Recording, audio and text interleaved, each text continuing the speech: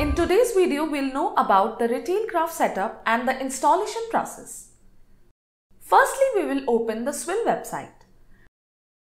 Here you will see many options in the upper side of the page. In this case, you can download the setup of Retail Graph from the desktop by clicking on the free download option. Let me tell you that apart from Retail Graph, you can also free download the setup for SWIL ERP and Unisolve setup. To download, you have to click on download free trial option.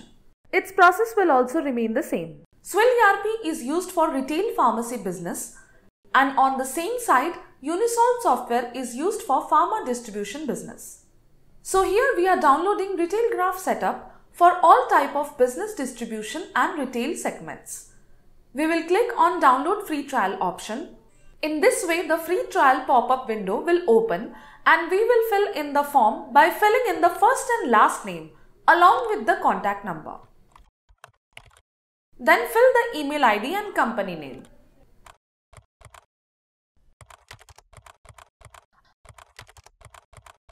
Now here you have to select your desktop Windows version from the selected version box and country India is selected by default. Here captcha code will be generated. After filling the form, click on submit button. In this way the setup will be downloaded on your system.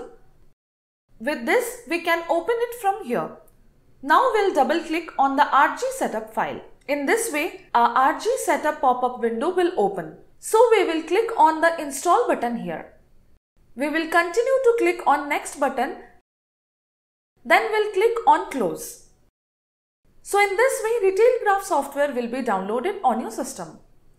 A sign up window will open on the screen where you have to fill in the sign up details. Here you will enter the name of your company or firm. Here we will fill in the email ID and password. Let me tell you that the email ID and password you entered here will become your login ID and password. Now confirm the password followed with mobile number. And from the drop down box, choose your business structure like departmental store, electronic store, garment store, etc.